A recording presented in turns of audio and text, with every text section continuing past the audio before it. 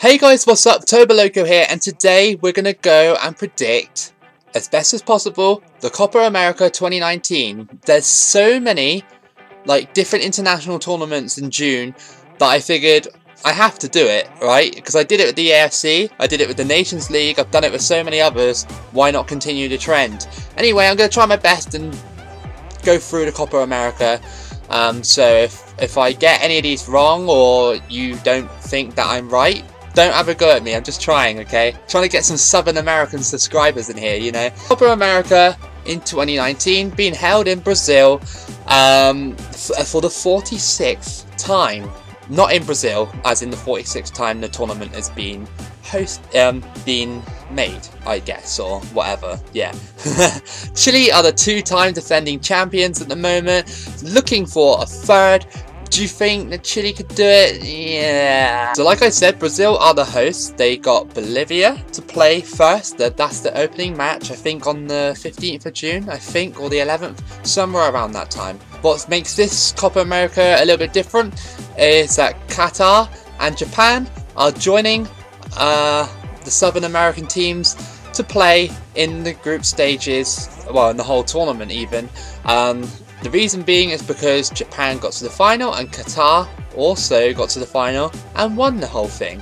And I think it has something to do with the 2022 World Cup as well. So it'll be a good chance for Qatar to to play some decent sides, I guess. I mean, they do in Asia, but like really, really like decent American sides, like um, Southern American sides, like Brazil, Argentina, you know. A couple of notable points, I guess. Neymar's lost his captaincy.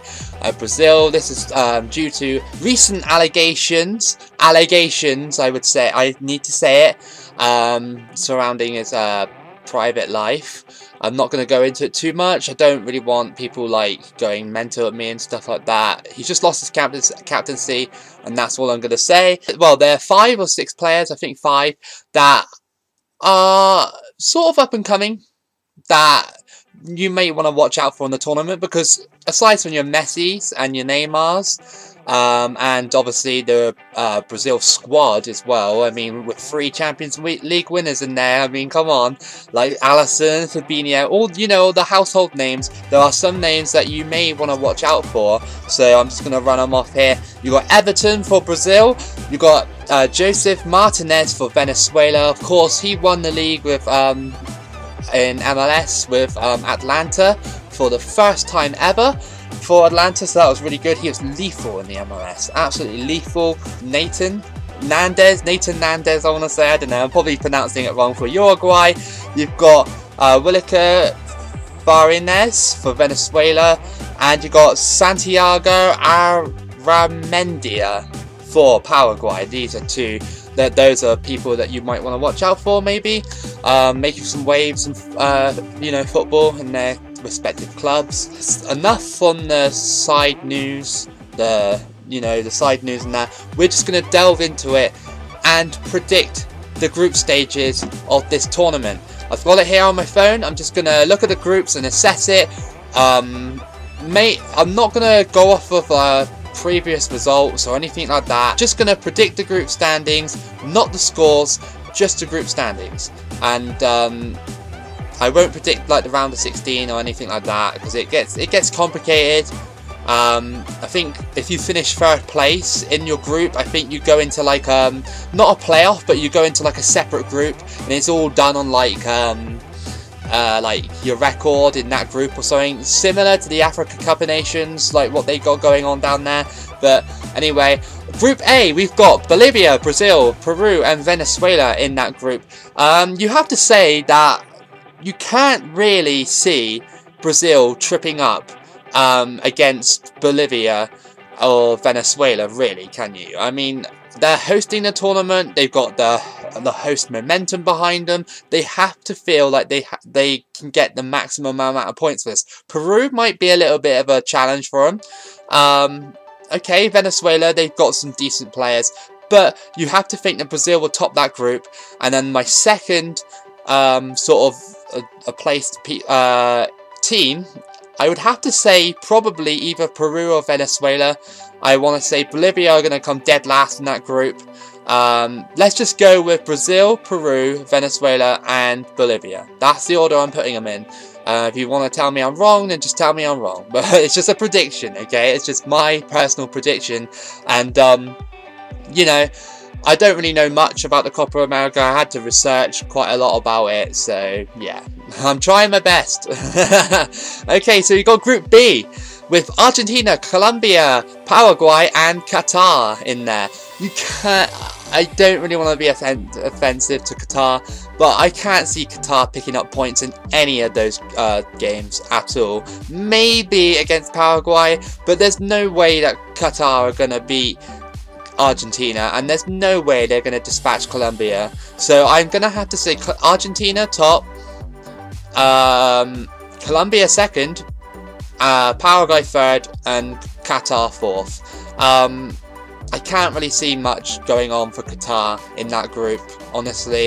I think Argentina would be dominant in that group. Maybe you could switch Colombia and uh, Argentina around, maybe. You could maybe put Colombia first, Argentina second, but they'll still go through. I think Paraguay are a solid third in that group. But, um, like I said, it's just a prediction in it by yours truly.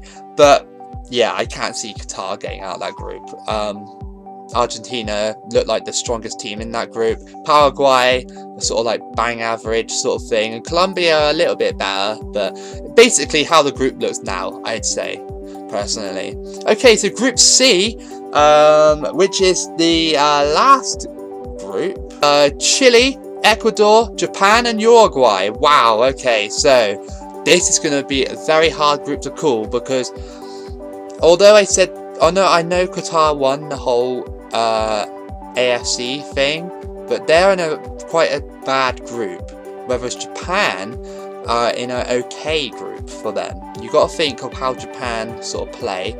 Um, yeah, you got to think that they would try and get points off of people like you know team like Ecuador.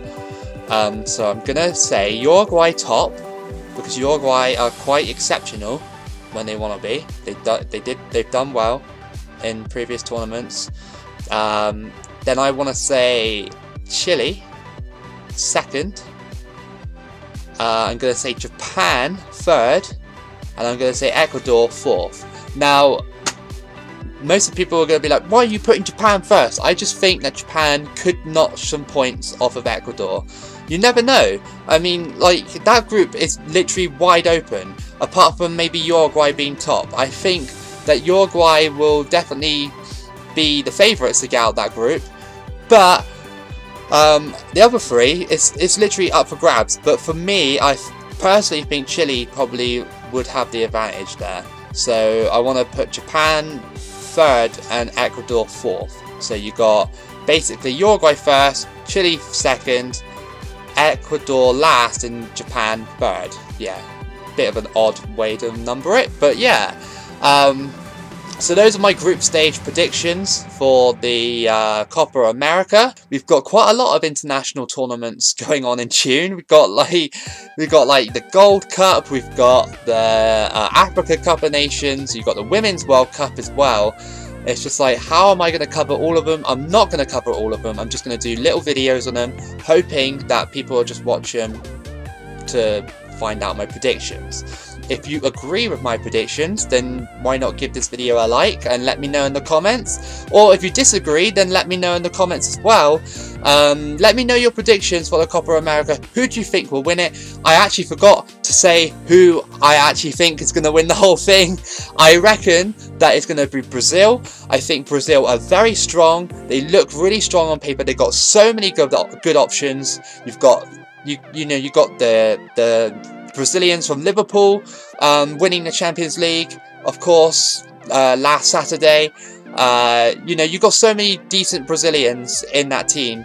Uh, you got Neymar as well, who, okay, he's been stripped of captaincy and he's involved in controversy, which could, in, you know, make his play a little bit funny. But that Brazil team is very strong. Um, if not Brazil, I want to say maybe Uruguay uh, to win the whole thing. Um, I why I don't say Argentina is because Argentina, they've gotten to this stage time and time again, and they've shown that they can't do it. And I think, well, I mean, it's their last chance. I mean, the pressure might just get to them, and that's it. So, yeah, that's what I think anyway. Um, I don't know if this is going to be a good video or not.